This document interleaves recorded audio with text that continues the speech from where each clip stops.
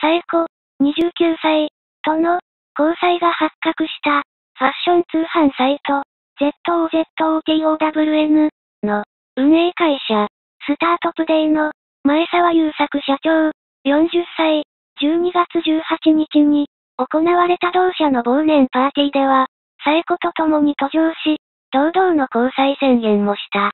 2015年4月に米経済誌フォーブスが、発表した、日本の富豪トップ50で、23位にランクインした前沢氏。総資産2000億円とも言われるセレブぶりが、話題を呼んだが、それ以上に大きく取り沙汰されたのが、前沢氏と二人の女性の、間に三人の子供がいることだった。彼は、結婚しない男、と言われていました。子煩悩でも知られ、子供たちとは頻繁に会っていますし、彼女たちを母親として、リスペクトもしています。年間数千万円という金銭的なフォローも。でも、結婚という形に縛られずに、いつも自分の気持ちにありのままに、仕事や恋愛に打ち込める方が、お互いに幸せだという考えなんです。会社関係者。しかし、そんな彼の考えを変えたのが最古の存在だった。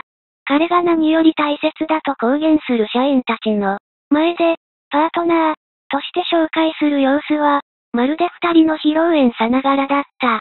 両親へ挨拶を済ませたこと。いつもお家で一緒にお風呂に入りながら仕事の相談をしていること。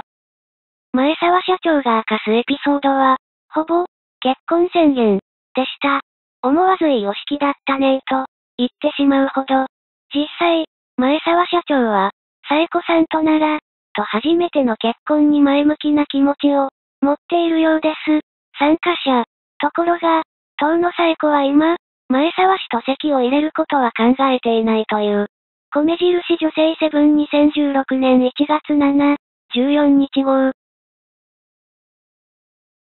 チャンネル登録をお願いします。